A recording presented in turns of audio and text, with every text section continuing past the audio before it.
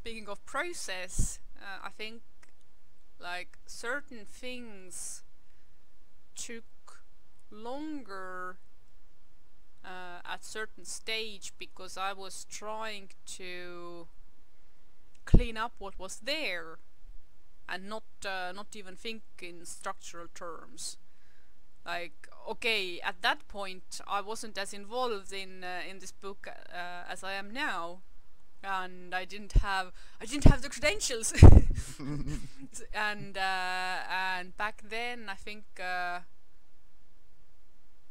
uh, I wasn't the bar wasn't as high.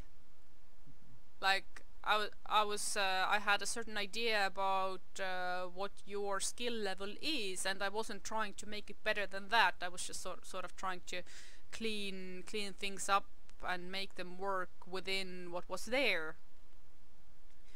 And of course now that we're looking back at the text those things don't work anymore because the rest of the stuff has gotten so much better than uh, than they immediately stick out.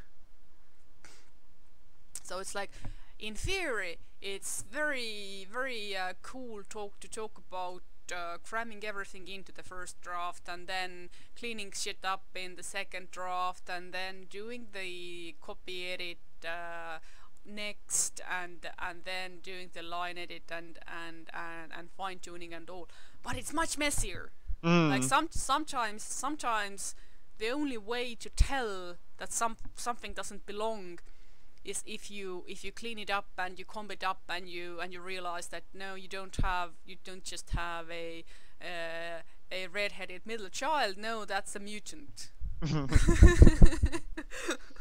when you when you were doing the list, like yeah, you do the first draft and then the second draft and then you do the you know, I was like, what is this magical order of which you speak? It never goes this simply, you know. Like, yeah it's very messy process. Mhm.